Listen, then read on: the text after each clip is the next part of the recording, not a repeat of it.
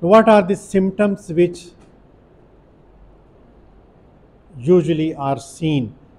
They cannot, the person getting uh, hanged or any mother cannot cannot tell what are the symptoms, but experimentally they have seen that the symptoms are first there is loss of power and they progress so rapidly that person even if thinks of freeing himself he cannot.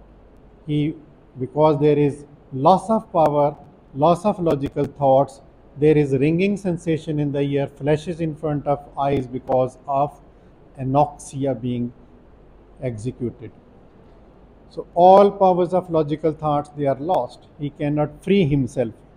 So loss of consciousness is rapid it is so rapid that it is said as that suicidal hanging is a painless form of death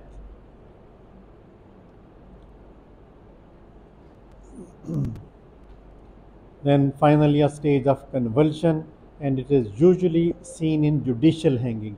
In judicial hanging the, the cause of death is not asphyxia because with the drop there is fracture dislocation of the vertebra and this uh, that dislocation transects the spinal cord and there is immediate death because of the transverse cutting of the spinal cord. So in judicial hanging the asphyxia is not the death. The heart continue to beat for 10 to 15 minutes